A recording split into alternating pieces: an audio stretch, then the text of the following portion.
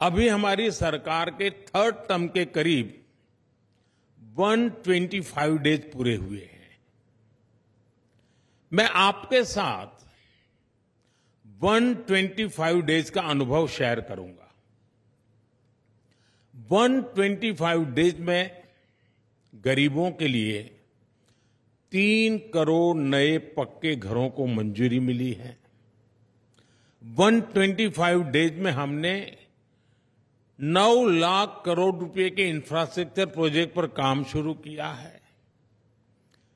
125 days में हमने 15 नई वंदे भारत ट्रेनें चलाई हैं। आठ नए एयरपोर्ट पे के काम शुभारंभ हुए हैं। इन्हीं 125 डेज़ में हमने युवाओं के लिए दो लाख करोड़ रुपए का पैकेज दिया है।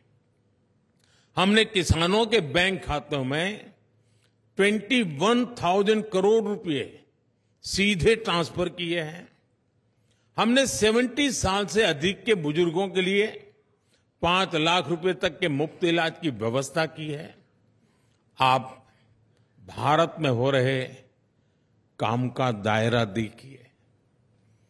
125 डेज़ में पाँच लाख घरों में रूपटॉप सोलर प्लांट लगाए गए हैं। एक पेड़ माँ के नाम अभियान के तहत 90 करोड़ से अधिक पेड़ लगाए गए हैं। इतना ही नहीं 125 डेज़ में हमने 12 नए इंडस्ट्रियल नोट्स को मंजूरी दी है।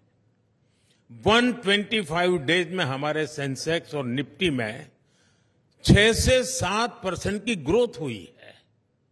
हमारा फॉरेक्स 650 बिलियन डॉलर से बढ़कर 700 बिलियन डॉलर के पार कर चुका है। भारत की उपलब्धियों की लिस्ट बहुत लंबी है और मैं सिर्फ़ 125 डेज़ की ही बात कर रहा हूँ।